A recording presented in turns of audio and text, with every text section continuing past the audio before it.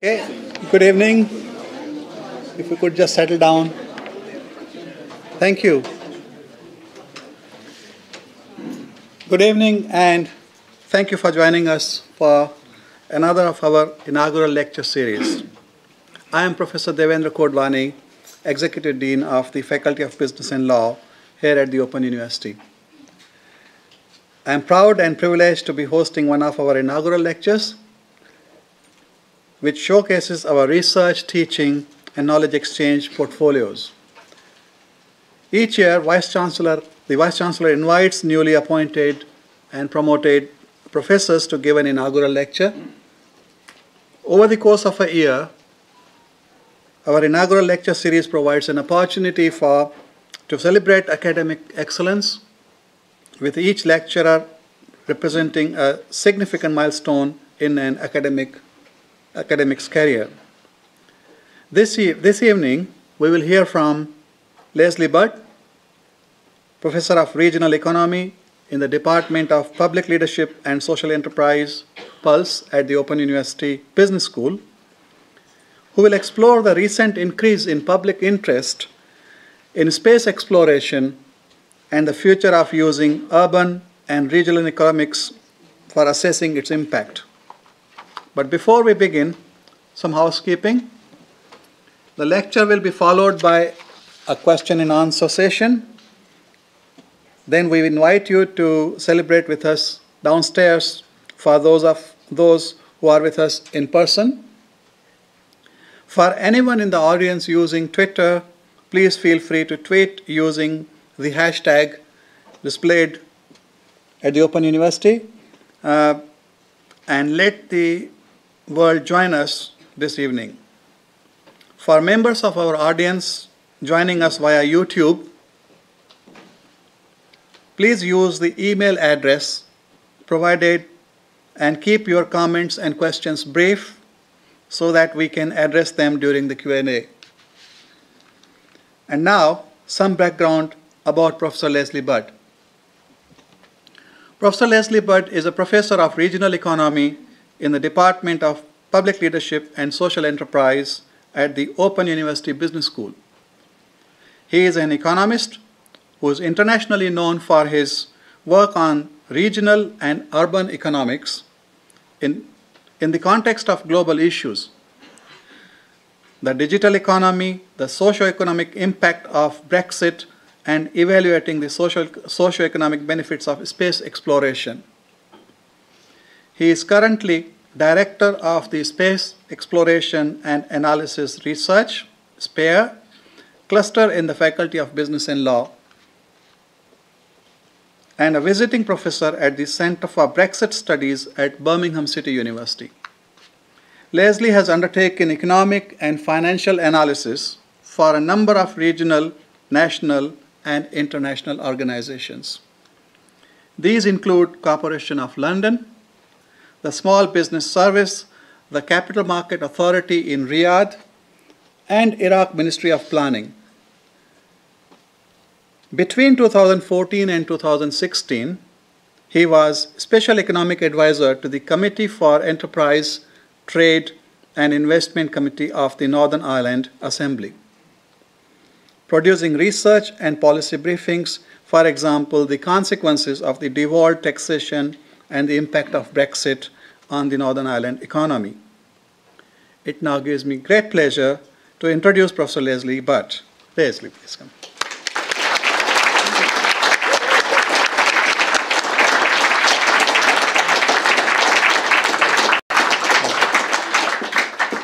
Thank you for those kind words. Okay. This lecture focuses on the socio-economic analysis and evaluation of the space economy, its industry, and international exploration programs. It covers research that attempts to create a critical narrative of the social, societal challenges that go beyond a narrow purview of space exploration, as not just as an outcome of science. Now, we all know that mathematics and space, uh, sorry, mathematics and science drive all knowledge, but the growth of the socio-economic benefits generated by the space economy, its exploration and industry, between the Earth and space economy is also becoming very important. And I've never subscribed to C.P. Uh, Snow's notion of two cultures between natural sciences and humanities. He's a much better fiction writer uh, than he is about describing those, uh, th that false opposition.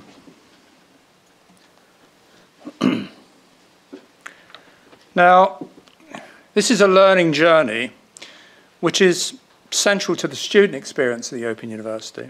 So mine is no different in many respects. Like any journey, there's been continuities and discontinuities along the way. The picture on the right is by the Urbanites, a 1980s radical art collection that decorated the ceiling of the Scala Cinema in, in London, which some of you here I know know well, influenced by the Sistine Chapel in Rome. And my own identity reflects my professional and personal commitment to things urban and regional. In the last, oh, sorry, this slide is, so I'm trying to do two things at once.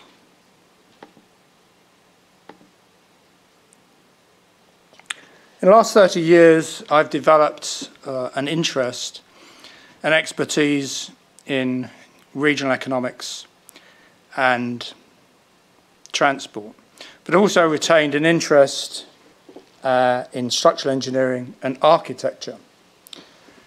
Also reflects my own, if you like, professional and personal journey from my father working at British Airways for 30 years as an engineer through to structural engineers, economics, transport planning, regional economics, um, higher education, and also my professional and personal commitment to all things urban and regional. Four years ago, along with my colleagues in the Science, Technology, Engineering and Maths faculty, Manish Patel and Vic Pearson, we were successful with our benefits of the European Exploration Roadmap in Economics, known as BEARS project, funded by the European Space Agency. This outcome was a starting point of my interest and developing expertise in the socio-economic impacts of space.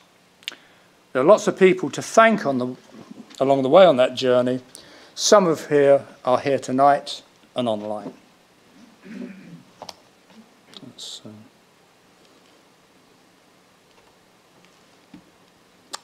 this is an overview of the global space economy in 2021. As can be seen from that representation, there are three largest contributors. Consumer services related to media and communications, navigation, positioning and timing of satellites, and government space uh, budgets. the projected growth of 1.5, sorry, I keep doing this, um, the projected uh, growth of 1.5 trillion to 2040 shows the widening and deepening impact of space in many industries and regions across the world. The distribution of the global space economy is shown in this slide that reflects the changing trajectory of advanced economies but also the growth of space manufacturing underpinned by the fourth industrial revolution and Industry 4.0, known as I 4.0 strategies.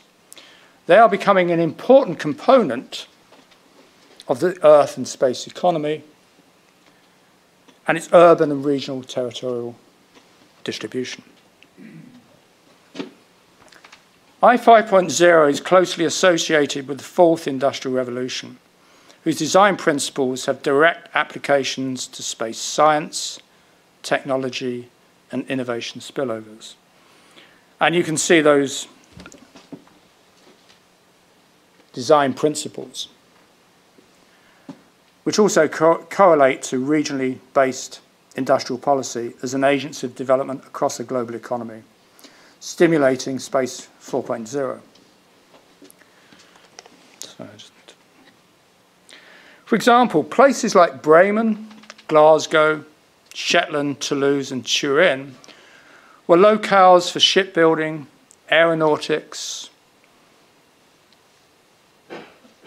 and um, oil and gas production.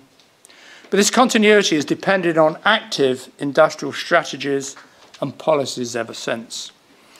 The Orion European Service Module case study, which we'll come on to, also demonstrates the role of space as a propulsive industry in enabling a range of municipalities and regions to exploit I 4.0 technologies and innovation spillovers in different urban and regional contexts.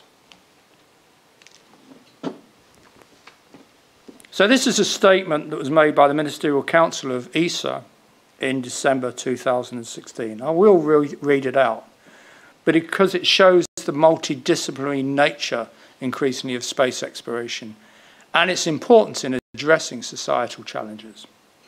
The space, that space serves societal needs, responds to European and global challenges, and offers opportunities notably to those related to the attainment of sustainable development goals and socio-economic growth, mitigation of geopolitical risks, which have been enhanced much more recently, security, science, knowledge, climate change, and a digital Europe.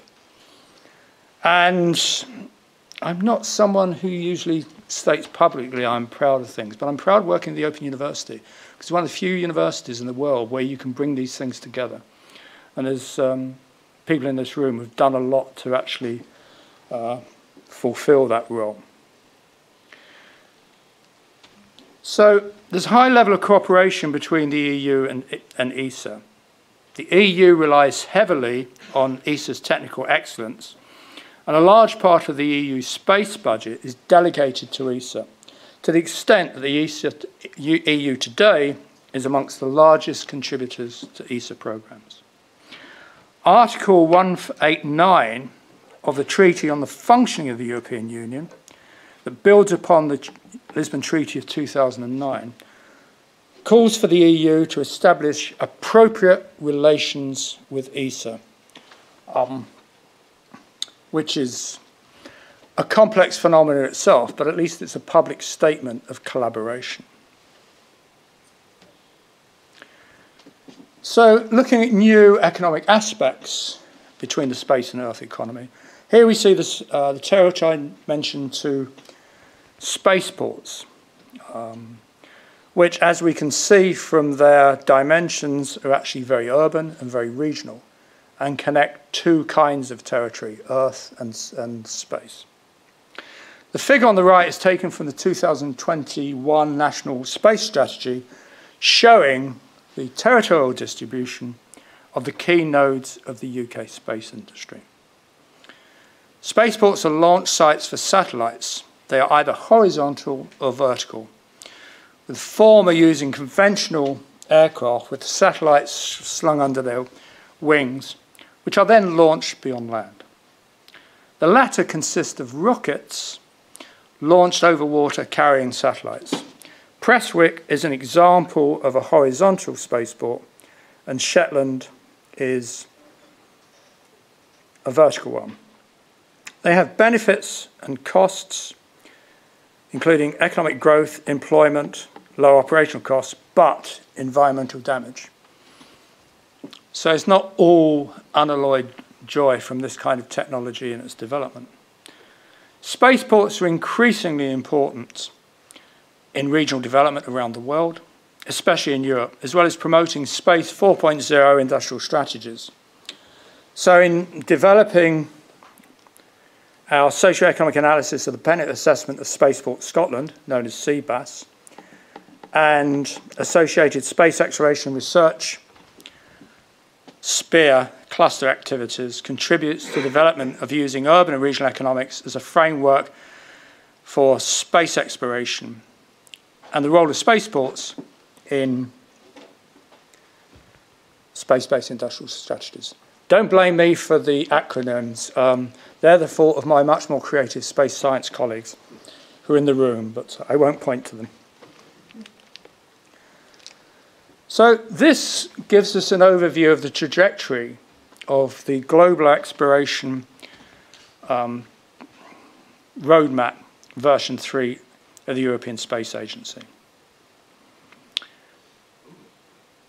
It was adopted, as I said, in, two, in December 2014. It proposed to consolidate exploration activities in a single European exploration envelope program, E3P, which integrates the three ESA exploration destinations beyond Earth, the Moon, and Mars as part of a single exploration process. It also consists of four cornerstones humans in low Earth orbit, the International Space Station, and Columbus 2030 are examples. Humans beyond low Earth orbit, Heracles, and in situ resource utilization, otherwise known as space mining. Human lunar robotic exploration, the, the Moon Gateway and Orion ESM programs, and Mars robotic exploration, ExoMars, and Mars sample return. These cornerstones were analysed and evaluated by the Open University Beers research team to identify the range of socioeconomic benefits and their direct, indirect, upstream, and downstream impacts. So, direct impacts and upstream benefits are shown in this slide. And they connect the Earth and space economy, but there's a tendency to measure these types of benefits using quantitative methods to create indicators of outcomes, which policymakers and politicians love. But I always say, if you want a number, I'll give you one. But things are much more complex than that, as we know. Um, and the invasion bad mathematics into economics is something that bugbear of mine for many years. Um, and economists trying to reduce you know, the, the, the, methods of physics to that of economics to make it a science would seem laughable to many of the scientists in this audience, as well as me, but I don't claim to be a scientist. Similarly, there are a set of direct, indirect and direct benefits, which connect the Earth and space economy. In this case, there's tendency measure using qualitative-based methods to create more descriptive indicators. But this does represent a bigger challenge for analysis and evaluation of these types. And certainly for the Beers, SEABASS, and SPEAR teams and activities, we are undertaking that, but it is a, it is a challenge. And I have to say, you know, the title is From Urbanite to Astronaut, and I count myself as an apprentice, but I'm very grateful to my space science colleague because I've learnt a lot and I've read space science papers, which I really don't understand, but they are intrinsically interesting. Well, it's because I don't have the training. Now, we, we come on to the impact evaluation framework that on the benefits of the ESA exploration roadmap in socioeconomics. Beers, and I won't explain why it's called Beers, but again, um, my creative colleague wanted the ESA Ministerial Council to talk about the benefits of beers in space exploration, which shows insight and humour, which we do have a, in abundance at the OU. So this was an ESA-funded research project to evaluate E3P by the Beers research team, drawn from three OU faculties. We created this evaluation impact framework based on a, on a stage-based uh, stage approach using a multi-criteria methodological framework. This was first pioneered over 10 years ago with other OU colleagues in the Electronic Governments for You project funded by the European Union. So the first is a critique of conventional studies, which are usually cost-benefit analysis. But when it comes to qualitative based benefits, the, the response is usually, and it's too complex. And we are talking about some of the large management consultancies that um, can add to their list of failures. But I'll uh, not be controversial there. Secondly, input-output analysis is an economic method most closely associated with the Soviet American economist Leontiev, frequently used in regional economics, and it provides a comprehensive treatment of the economy as a whole, encompassing all of its industrial sectors using standardized input-output analysis. And I'm very pleased to see uh, some of our ex-PhD students here tonight who've got greater expertise on input-output analysis than I ever have, and also a colleague from the Department of Economics. And again, that kind of environment in which we attract people like that from all over the world is again one of the benefits of the OU. And I'm not looking for promotion, that's me. but it, but you know, it is, is a fact. Now, the capitals approach is based on Pierre Bourdieu's approach. He's the, he was the French anthropologist and sociologist. And he criticized conventional economic capital as being too focused on material exchange. He argued that people from different social positions, different from one another, with regard to their possession of three forms of capital economic, social, and cultural. There is also a relation here to the continuities and discontinuities of my own journey. In that I had a research secondment to the Centre for Urban Sociology in Paris in 1985. And many of my French colleagues had actually studied for their PhDs under Bourdieu. And every Friday I went to his public lectures at the Collège de France. Um, and that also formed the basis of my developing interest and links to the OU by becoming a part-time PhD student two years later. So there's lots of people in this room to blame, but I won't go there. And finally, we have, but these forms of capitals can also be classified as community capitals or resources They've increasingly been used in studies evaluating public policy programs within a community or society. So I think it's about two years ago, Greater Manchester Authority took on more public service roles and they undertook a capitals um, a, approach to evaluate what the benefits might be of that policy shift and what kind of public management and services that they may deliver.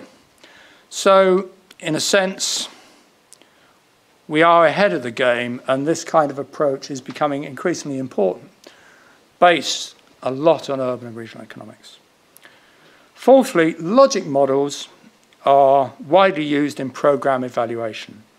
These models represent the most important relationships between project activities and expected outcomes, outputs, and impacts. And finally, data visualization methods were adapted to graphically demonstrate some of the outcomes. We, and in the Space 19 Plus strategy for funding ESA's programs for the next five years, uh, the OU Beers team's work was mentioned, but they were particularly happy, as policymakers and politicians are, with the graphic representation of some of our results. Excuse me. So, this is the adaptation of Bourdieu's capitals otherwise known as community resources. So for the Beers program, we expanded beyond the three uh, programs, and you can see the definitions there. And you could probably evaluate any kind of program, kind of the interaction of these things, because they do show the kind, the kind of socio-economic integration um, of social sciences with natural sciences and also humanities. so, but you, you might wonder why we didn't choose education as a capital for the Beers project. And we've had a lot of debates about that, and we can't actually remember. But it seemed to me that we didn't include it as a discrete um, capital because it related to elements in human capital, particularly skills formation and training, as well as conforming to the OU's purpose of promoting lifelong learning. But the choice of capitals is pragmatic, like many evaluation projects, and it depends on the nature of the project and its context. I like pictures. And I like old technology. I'm of a, generation that actually remembers we had a day off school when the first Russian satellite was launched, long ago, about the reputation of Russia. But the International Space Station is a 20 year cooperation between the European, US, Japanese, and Russian space agencies. Um, and there, their logos, logos uh, fairly obvious. Um, and I, have, I haven't deliberately put um, the Russian one on the bottom right. Um, but ISS orbits the Earth every 90 minutes. Aboard astronauts from various participating nations who undertake experiments that have led to a number of benefits, including technological, environmental, and health ones. Many of these experiments are under microgravity uh, conditions, which is weightlessness leading to new scientific evidence, technologies, and innovation. The ISS closely connects the Earth and space economy through environmental mapping, including weather forecasting, and managing the effects of extreme climate changes, for example, tsunami. The current challenge is the continuous participation of Roscosmos due to the war in Ukraine, for which the head of the Russian Space Agency announced Russia's intention to withdraw next year, despite senior NASA figures seeking to continue to the, the collaboration. Um, and it is quite interesting, and, and the dynamics of this, and I don't want to go into it, but many, a number of the Russian um, cosmonauts above the, uh, aboard the ISS were actually wearing uh, Ukrainian T-shirts and flags. And the colleagues at ESA we dealt with, ESTEC, always said, the thing about Russians is if you sup and drink with them, they're really good collaborators. And the ISS is important for its technology. I mean, the old the Soyuz rockets, which launched it, are now using SpaceX, is really old kit. And at ESTEC in the Netherlands, which is the technical and scientific branch of ESA. They've got mock-ups, which I'll show you later. And you go in, you think, blimey, this, remember, you know, this reminds me, frankly, of my childhood, flying on Dakota D- DC-3s at 5,000 feet without, you know, no flat beds, no business class in those days, an old kit, um, which I am probably, uh, but it is remarkable. And it's remarkable, I think, that's come into the uh, public perception of the benefits of space, particularly of ISS in the last few years, using old technology, but with new kind of adaptations and new discoveries. So, ISS inputs and outputs. So we have input-output analysis to analyze the economic effects, but there are, so the input is the onboard experiments, and that on the left-hand side is the, is the mock-up, uh, where they undertake experiments. And when I first got involved with the Beers program, they kept talking about ice cubes. And I thought, hmm, they just drink gin and tonic up there. Is it ice cubes? It's actually little mobile laboratories, and they're called ice cubes because they're cold. But it's like, oh, oh well, perhaps we'll have, we'll, perhaps we'll have an ISS gin. I mean, we've got Edinburgh gin these days. So. Um, the image on the right-hand side is of the XML uh, MRI scanner that can diagnose osteoporosis in minutes as a result of the ISS astronauts undertaking experiments on themselves and building a prototype that's now being commercialized for international markets. Osteoporosis is a condition that ISS astronauts can suffer for at least four years after re entering the earth. Telemedicine is also a health benefit because of the development of robotic arms for surgery.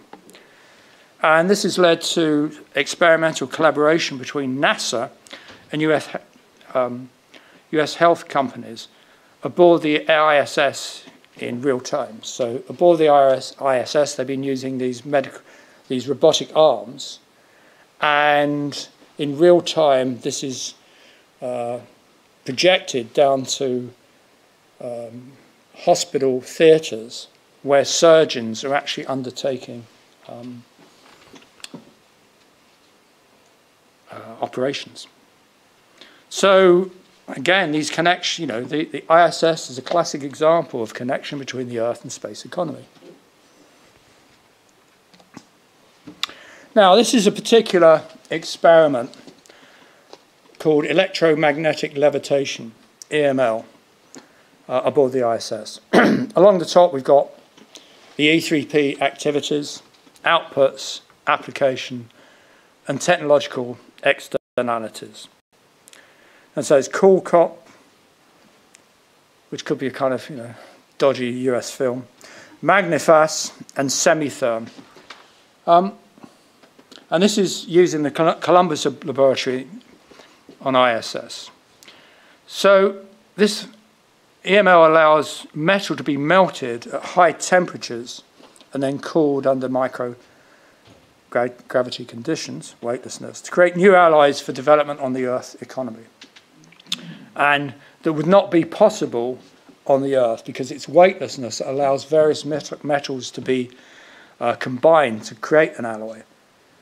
So to actually do them on Earth, you would actually have to build a chamber under microgravity conditions. But again, it shows these kind of insights and things that you can do on aboard space under weightlessness and not on the Earth. So the figure, so if we look at the outputs, copper and cobalt, nickel, titanium, silicon. Along the bottom, you've got the ex experiment, com experimental component, ready to market applications, commercialization, future applications, and then value added. So those important linkages. And without things like E3P programs, um, like the ISS, these things would not be possible. But the inputs and outputs of this form of technological capital also creates environmental capital as a consequence, as well as innovation spillovers. but all three experiments can be said to relate to urban and regional economic development, smart cities, of which Milton Keynes is apparently one, and uh, at lunch today, some of my friends and colleagues were actually impressed, I think because the sun was out, but um, it is, beca- again, it's um, a smart city and lots of things are going on here. So architecture, engineering, building materials, and intra and inter-regional transport systems that generate locational advantage and agglomeration economies. So, the Orion ESM network as a driver of space locales. So, the European Service Module is the service module component of the NASA Orion spacecraft, serving as primary power and propulsion component until it's discarded at the end of each mission to the moon. So, funded by NASA and ESA, Orion ESM is a six phase program to service the Artemis lunar missions from 2018, with annual launches between 2021 and 27, with both robotic and human missions. During the development, sorry, it's gone too far. Whoops. So during the development and construction of ESM, Airbus has drawn under its experience as a prime contractor for ESA's automated transfer vehicle between um, spacecraft and, say, the moon. ESA selected Airbus in Germany to lead a consortia of companies develop and construct phases one to three of ESM, all of whom had ATV experience. The network of contractors and subcontractors includes more than 18 countries in 10 different European, so 18 companies in 10 different European countries as shown on the map, unfortunately excluding the UK. The experience of the members of the consortia working together over the first three missions represent a form of organisational capital with an externality consequence of social and human capital. As the network gains in efficiency, lower transaction costs, which is the cost of doing business, result. The, uh, the ESM network is also a driver of space as a propulsive industry within the agglomeration economies in the space city regions and municipalities where the network members are located. But also, the one thing we overlook is the role of space, space science and exploration in contributing to the uh, design economy. So, the Orion capsule is successor to the famous Apollo ones and central to plans for lunar missions uh, of the Artemis 1 program, which has six phases, and Mars exploration programs in the future. Much of its design principles are drawn from lunar upon for lunar architecture projects, particularly the use of new materials, as well as in situ resource utilization, again known as lunar mining. There's a lot of noise about the knowledge economy. Um, my parents in law were in care homes where I was really impressed by that branch of the knowledge economy, where the carers were highly skilled in just things like putting on their clothes. When I tried to put my father-in-law's jacket on, he nearly broke his arm. It's a knowledge economy. You know, there's, there's nonsense talked about it, and again, it infuriates me. but in fact, it's really about the design economy, of which the relationship between Orion ESM Lunar habitats and ISRU can said to constitute one. In its 2018 report, the UK Design Council stated, design and design skills are the heart of the fourth industrial revolution. They give us the tools to respond to these unprecedented challenges and instigate the growth, innovation and jobs that will drive the UK's global future. And we define this activity as the design economy. The value created by those who use design in a wide range, a wide variety of industries. This includes designers in design industries, other roles in design industries, as well as designers in other sectors of the economy, such as banks, consultancies, automotive, or aerospace. now we come on to if you like, definitions of organisational capital and its linkages. I'm grateful to my colleague Stefania Paladini um, of, the, of Birmingham City University for bringing this to my attention. So, intellectual resources and development linking to organisational capital, human capital, and relational factors. This form of capital is rooted in corporate strategy and accounting valuations. But the later elements include human capital, relational factors, intellectual resources and development, as well as organisational culture and structure, learning and intellectual property. And again, going back to the continuities and discontinuities of the journey at the Open University, one of the original authors was J.C. Spender, a former visiting professor at the Open University Business School. Now, the ESM can also be considered a learning organisation in that the process of manufacturing a series of large items creates learning effects for the internal and external stakeholders through collaborative working and sharing knowledge.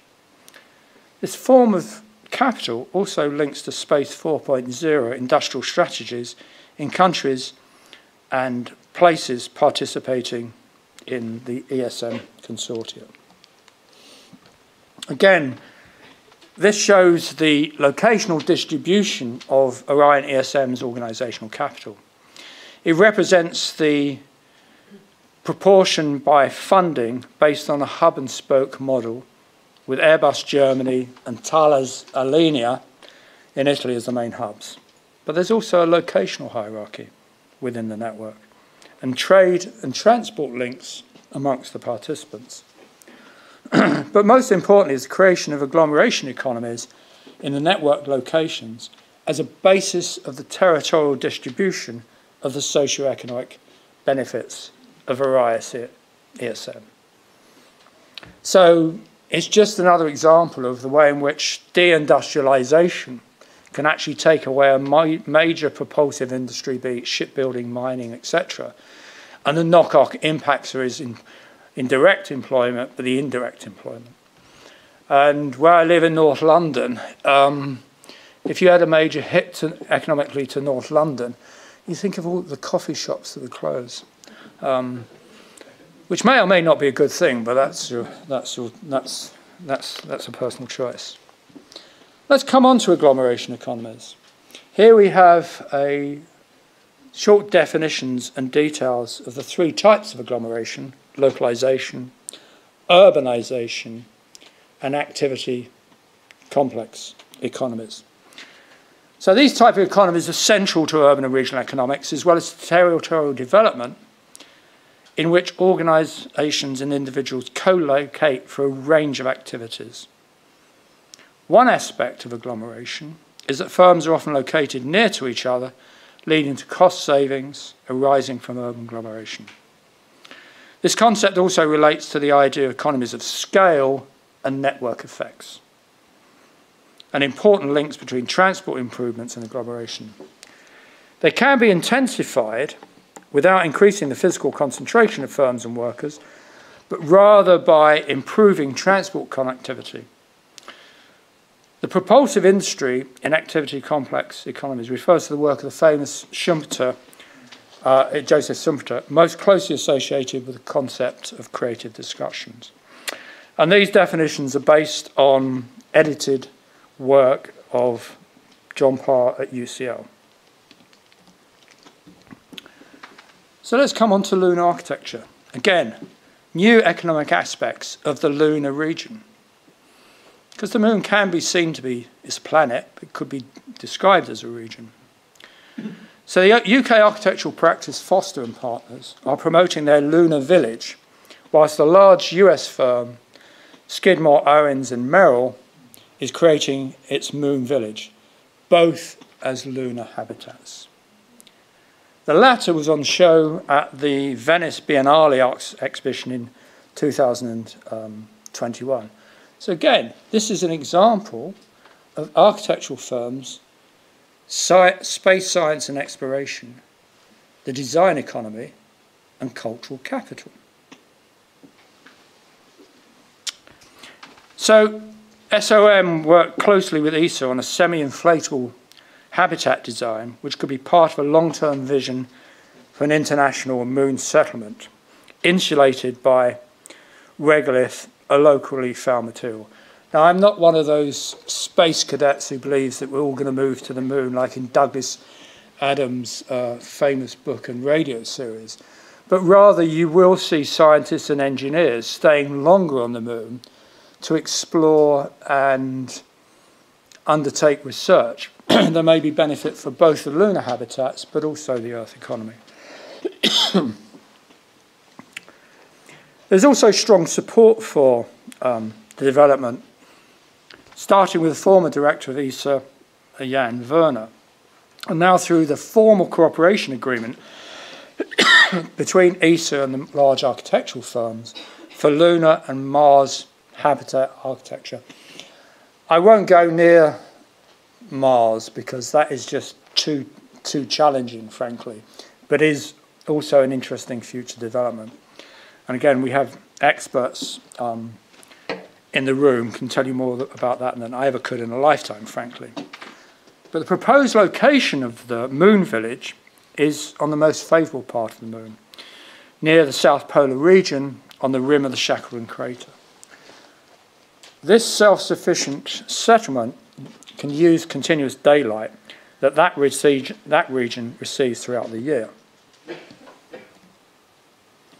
But again, let's go back to design principles.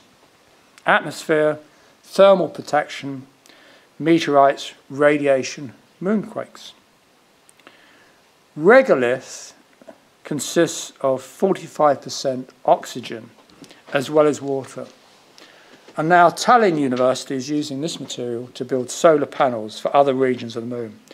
An issue in other moons because you get two week days and nights. And the Chinese have landed on the dark side of the moon, but, um, which is interesting. Whether they're fans of Pink Floyd or uh, play it continuously, I don't know, but is their worst album. But again, we can discuss that. Um, helium 3 is important for cold fusion, a potentially safer nuclear power that can contribute to sustainable energy transition. That also has implications for the Earth economy as we face energy um, challenges at the moment um, as well as future developments. But it's been unsuccessful to date. But there are also important developments in the governance environmental sustainability of space missions is also occurring. And under its um, space and governance workstream, the OU's astrobiology research program is addressing these issues. So, future research.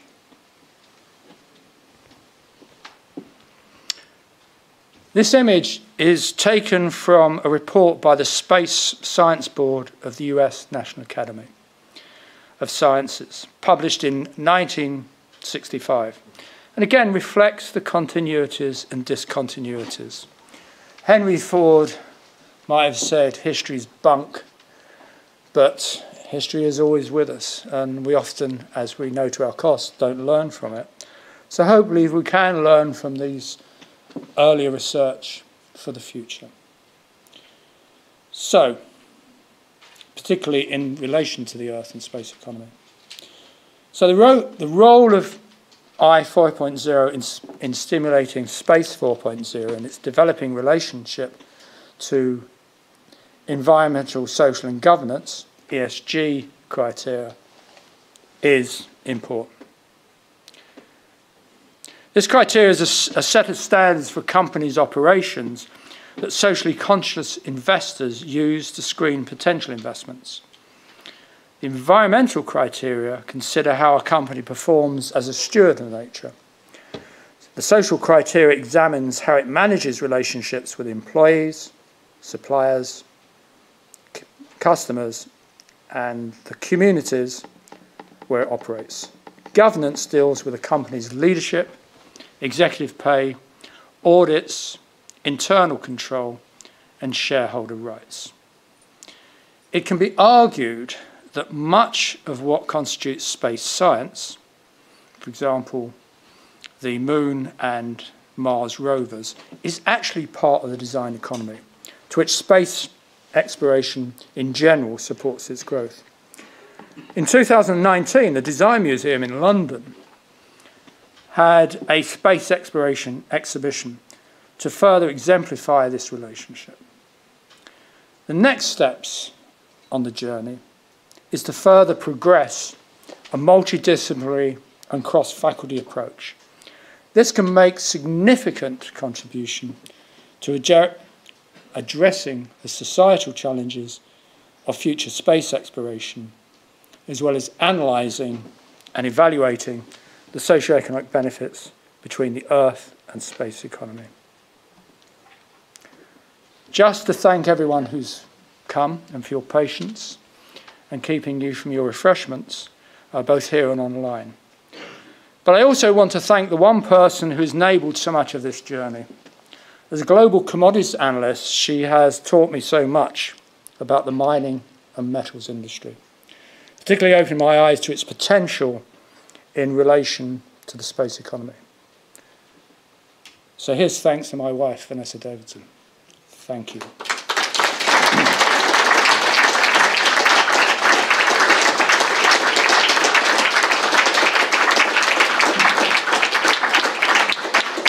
Thank you, Leslie. Fantastic, uh, thought provoking reflections and, and findings from your research. Thank you for sharing. So it's time for us to hear from you uh, in the audience here in the theater as well as online for a questions, and answers, chance to discuss with Leslie some of the aspects of uh, what he has presented and other questions you may have. So Leslie, please join me in the. Thank you. Sitting.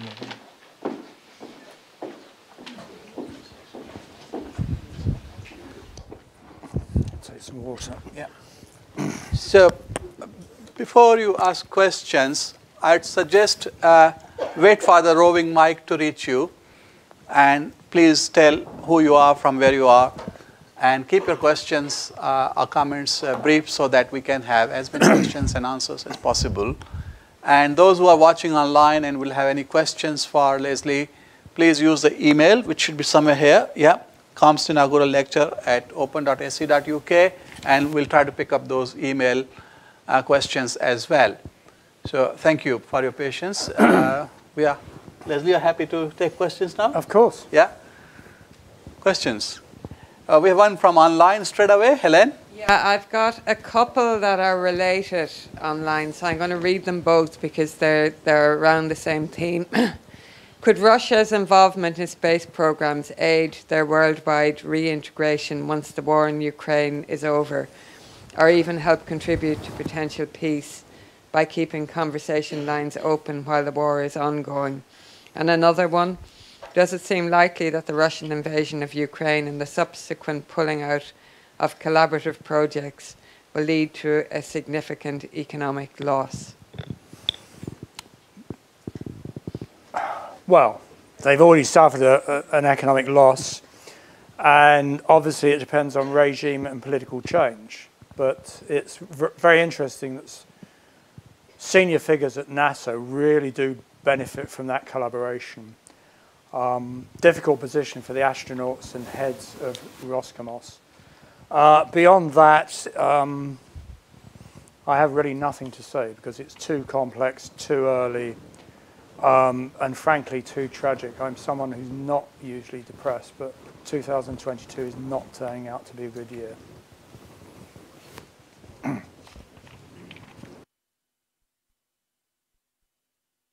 Just there. Thank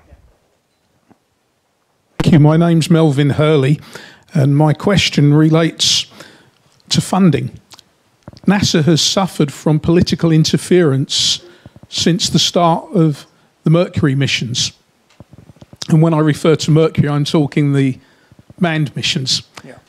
Today, it's even further hit by political intervention in their funding streams to the degree that they've moved to a system whereby they tender to private companies. How much of a threat do you see private companies being to the continued exploration and the economic effects of space? Um, that's kind of Hitchhiker's Guide to the to the galaxy territory.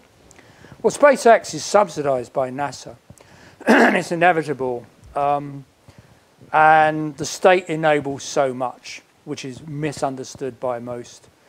And the issue with funding is, I mean, when Trump was in power, he wanted a space army. And there's always the issue of security and space and who owns space in those treaties. Um, I don't think they're a threat, but I do think they could be like, you know, the new robber barons of the digital companies. But as Schum, you know, Schumpeter pointed out, this, you know, um, but if you actually think of the, without the, the public funding, they won't do anything. I mean, Elon Musk would not be able to take over Twitter. Uh, and they can do some good things, like in South Australia with battery technologies, etc., etc. But again, it's about regulation, it's about governance and law.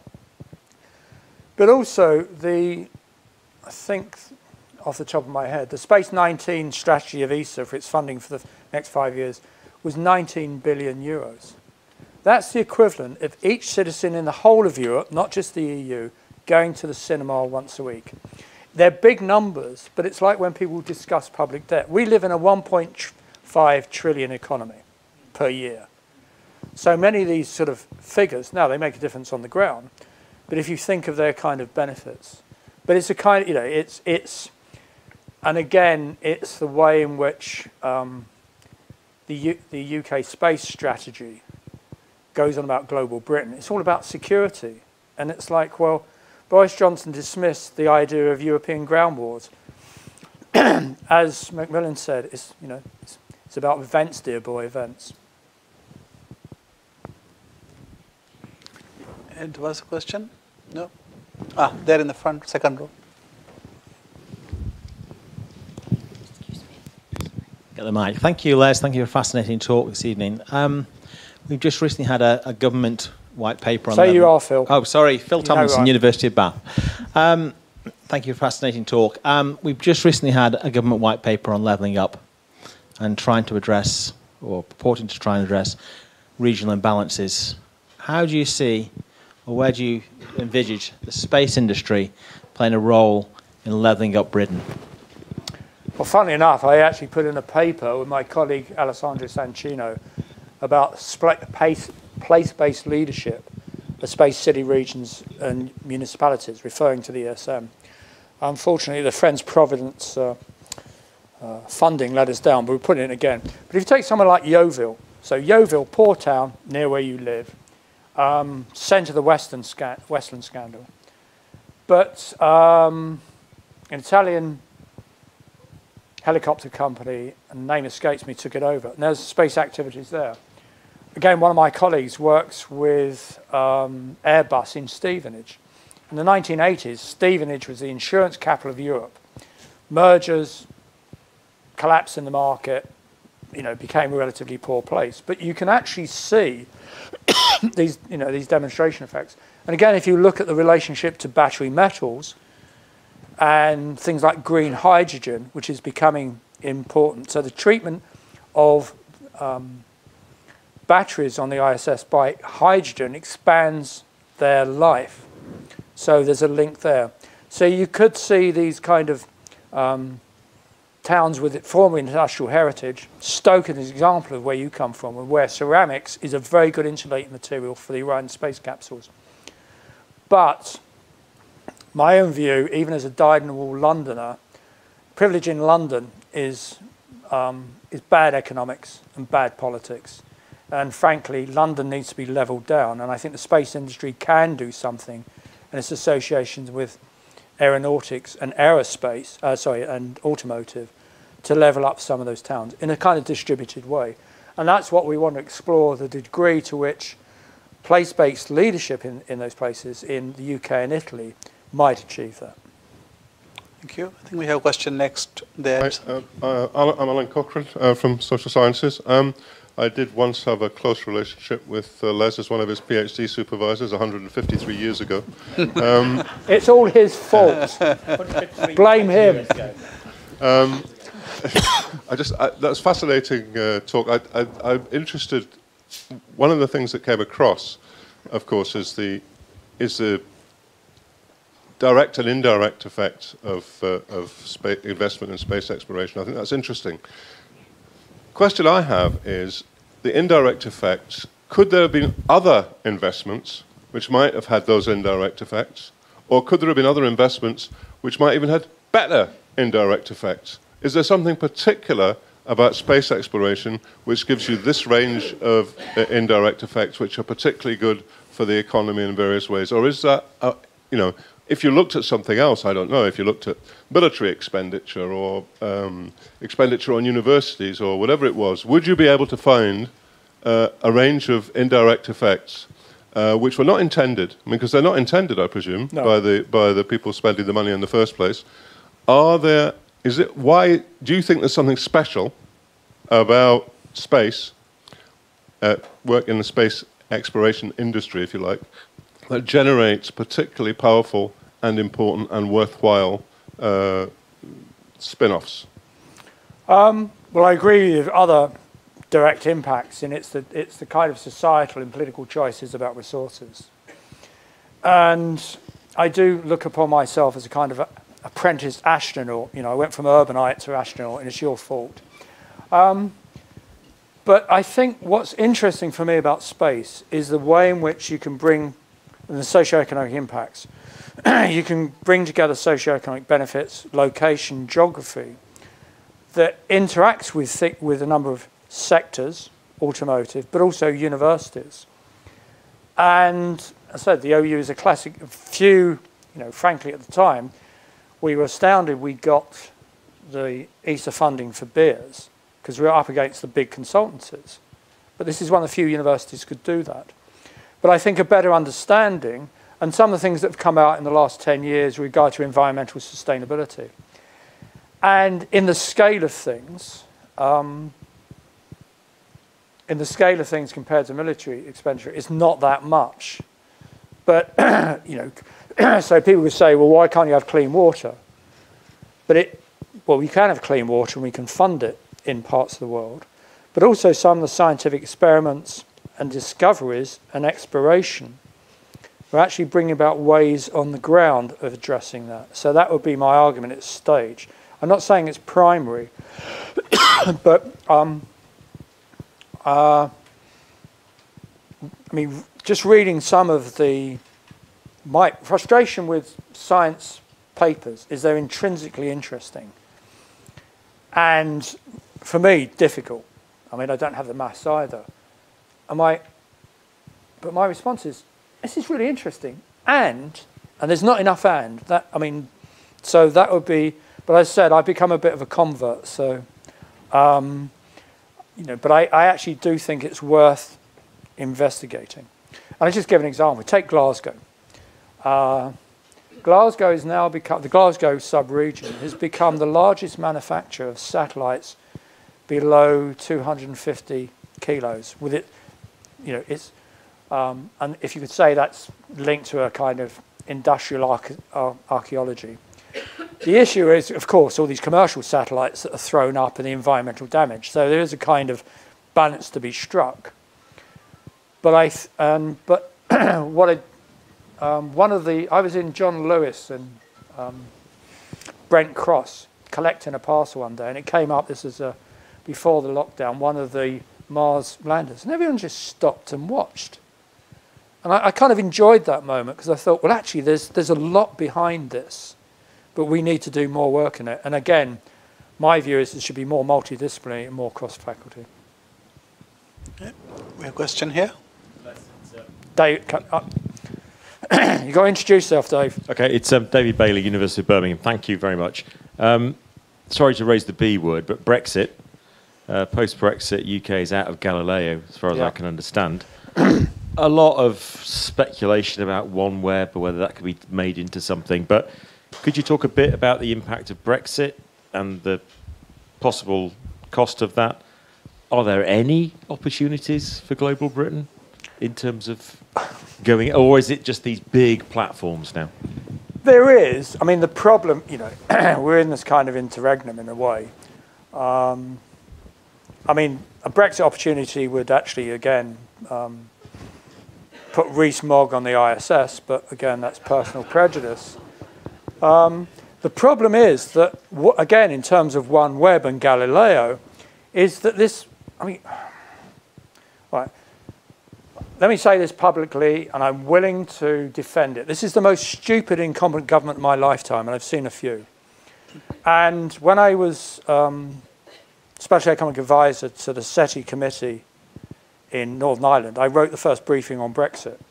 And I gave evidence to the Northern Ireland Affairs Committee. There were 23 peers and members of Parliament on that committee. Three had a clue of what Brexit actually meant, particularly for Northern Ireland. So similarly, so if you, the three, in one of the slides, which will be available, there's the three major EU programs, which, the, uh, which the UK cannot bid for because it's a third member country. And so if you think about Surrey satellites, a number of things.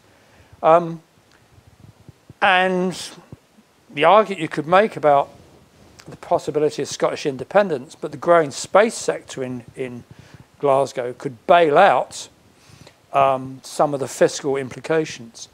But it's, it's, dam it's damaging. And um, the, other th the other thing is just things like the Erasmus programs, the flow of students and you know, the astrobiology program here is its first successful PhDs. That's a really important thing. But where are they going to go? So we have, you know, the COVID, we haven't been hit by the consequence of Brexit, but each stage you're going to fight. Look what's happened to automotive. Look what's happened to air. You know, if Airbus pulls out of the UK, you know, which it could do, building the wings, etc., etc., at Broughton um, and uh, in North Wales, there's difficulties. Brexit's a disaster, whatever way you look at it. But there's no strategic thought. And I had I, I was at lunch with you today, so I didn't read the um, the Queen's speech. But there's nothing about science. There's nothing about technology, and I mean, you know, I think global Britain in five years' time will look like a, a fairground merry-go-round. Not a very encouraging thought to. but look, I'm old enough and ugly enough for Fair younger enough. colleagues. Fair enough. We live uh, through these things, yeah. and we come out the other end. Uh, uh, yeah. Okay, so I think we need to uh, wind this. It's been fantastic conversation. The amount of interest we have generated, Leslie. Is there a question there? Let's take the one more I, question. I just have to ask a question because there's yeah. a woman who's asked a question, yeah. so we've got to go for it, haven't we? Yes. I'm just curious, Les, you uh, talked about space as a uh, Please introduce yourself. Sorry, I'm Sheila Watson. I work for something called the FIA Foundation. Thank you. Um, you mentioned space as a propulsive industry. Yeah. And we touched a little bit on private and public, but you talked a lot about uh, initiatives, I think, and programs which are largely publicly funded one yeah. way or another. What is your take on the impact in terms of territorial claim and also local economic impact of Elon's projectile, which I still think is the funniest thing in the world, that his uh, advisors told him to design it to look like that, um, and everybody else's private space missions. Well, I think space, I mean, without the public fund funding, you know, it's the classic, you know, monopoly capitalism is underwritten by the state, end of. And without the state, you wouldn't get it. Um, and unfortunately, we, you know, uh, again, i if, if those of you are old enough to remember Hitchhiker's Guide to the Galaxy, where they pretended the Earth was going to explode, be hit by a big um, meteorite, and the hairdressers, marketing, PR people, not communications, um, advertising people were sent. I'd happily sent Bezos, Musk, and all the rest of them to Mars, which I understand takes 16 to 24 months to get to and back again. There is an issue, and there's a clear issue about who owns space. And so we've got colleagues in the astrobiology who've done a lot of work on space and law. And one of the great things, um, and I, I, missed it on the slide, is the work that was done by the Citizenship and Governance uh, Strategic Research Area on that very thing. And there is a danger of all these private satellites going up, because when I mean, it's good for Stoke because the ceramics built the on Orion, but when they come back into Earth, there's a real danger. So it's something, again, we have to really look like. And it's like big tech. You know, the internet was going to free us all. But again, it's just another, if you like, development in monopoly capitalism. So again, in terms of space research and pro programs, be careful which, what you wish for. Um, but at least in other European countries, um, there is some, and particularly in Italy, there's some attempt to actually look at that role. Um, we will need a change of government here, as, as you well know. Thank you. Thank you. So,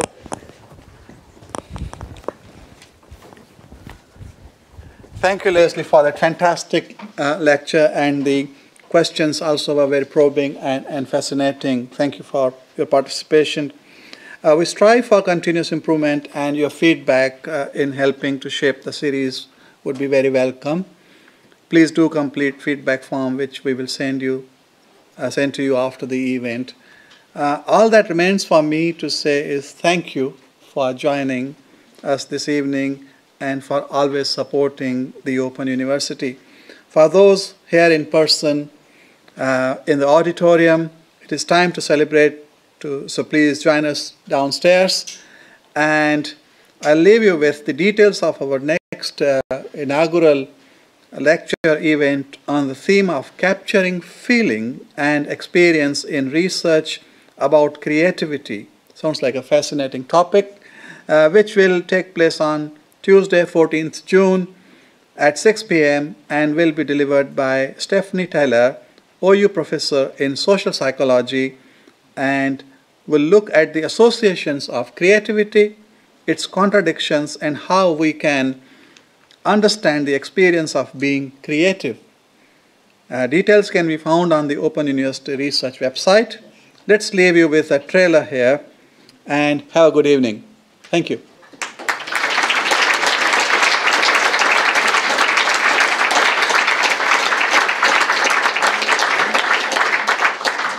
Thank you, Leslie. You can join us.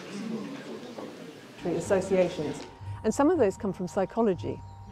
For instance, we think of creativity as the special gift that marks off a minority of great people, but also as a capacity that we all possess and should exercise for our mental health. In my inaugural lecture, I'll look at how different areas of psychology have contributed to our understanding of creativity and the experience of creative practitioners. Join me to have your say.